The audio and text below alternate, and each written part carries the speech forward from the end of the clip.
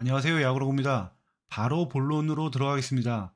이번 시즌을 마지막으로 일본으로 떠날 것이라고 알려졌던 안건수가 최근 한 언론과의 인터뷰에서 현역 연장에 대한 의지를 밝혔고 11월에 군복무를 위한 신체 검사를 받을 것이라고 말했습니다. 안건수의 말을 들어보면요. 롯데에서 우승하고 싶은 생각이 너무 크다. 그리고 팬들이 인스타그램 메시지를 통해서 정말 좋은 말을 많이 해주셨다. 이런 팬들, 동료들과 함께 우승을 하고 싶다는 생각이다. 그래서 야구를 조금 더 하고 싶다는 생각을 가졌다. 부인과 아이가 있는 일본으로 가는 편한 길을 선택하지 않고 군복무를 하더라도 한국에서 야구를 이어가겠다는 안건수의 결심은 팀에게 어떤 영향을 미칠까요? 안건수는 1993년생으로 2023년 30살입니다. 신검을 받고 바로 군대에 입대한다고 했을 때 빠르면 32살이 되는 2025년 시즌 후반기 아니면 33살이 되는 2026년 시즌에 합류한다는 계산이 나옵니다. 야구 선수 전성기 구간의 가장 끄트머리에 있는 33살에 복귀한다는 것은 아무래도 좀 늦은 감은 있습니다. 커리어 전체 성적을 한번 보겠습니다. 한국에서의 4년간 326경기에 남아서 2할 7푼 8리의 타율과 OPS 0.670, 홈런 2개와 56타점, 24개의 도루, WRC 플러스가 86.4였습니다. 솔직히 매력적인 숫자들은 아닙니다.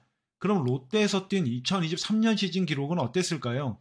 95경기에서 2할 6푼 9리의 타율에 OPS가 0.662, 2개의 홈런, 29타점, 16도루, WRC 플러스가 85.3이었습니다. 커리어 전체 성적과 엇비슷한 모습을 보였습니다. 그런데 2023년 시즌은 한 가지 고려사항이 있습니다.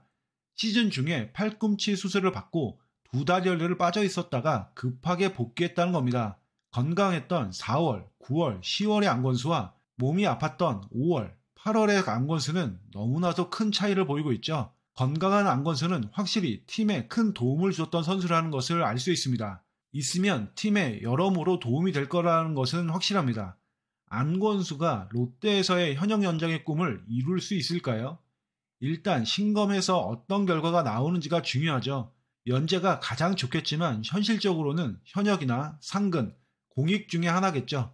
일단 현역이나 상근이 나오면 18개월 복무고 공익은 26개월 복무를 해야 됩니다. 안건수 입장에서는 현역이나 상근이 나오길 바랄 겁니다. 그런데 신검 결과가 나온다 하더라도 또 한 가지 넘어야 되는 산이 있는데요. 대우입니다. 2023년 안건수의 연봉은 8천만 원입니다. 부양할 가족이 있는 상황에서 1년 6개월을 군대를 가야 되는 상황이기 때문에 선수 입장에서는 장기 계약으로 좀 안정적이길 바랄 텐데요. 최소 현재 연봉을 동결하고 3년 계약 정도를 맺고 싶은 게 선수 마음일 겁니다. 그런데 이건 어디까지나 선수의 입장이고 구단의 입장은 또 다를 수 있습니다. 2026년 시즌에야 돌아온다는 가정하에 33살이 되는 안건수를 기다리느라 3년 계약을 주는 것은 금액의 많고 적음을 떠나서 굳이 이런 생각을 할 수 있기 때문입니다. 지금까지 여러 부분을 살펴봤는데요. 지금 확실한 것은 딱 한 가지입니다. 안건수가 롯데라는 팀에서 보낸 1년의 추억을 아주 행복하게 느꼈고 이로 인해서 굳이 안 가도 되는 군복무를 고심하고 신검을 받는다는 거죠. 안건수의 미래의 무대가 한국일지 일본일지 아직은 모르지만 안건수의 롯데에 대한 사랑, 팬들에 대한 사랑은 확실히 찐인 것 같습니다. 안건수에 대한 소식을 계속 팔로우 해보겠습니다. 이상으로 방송 마칩니다. 감사합니다.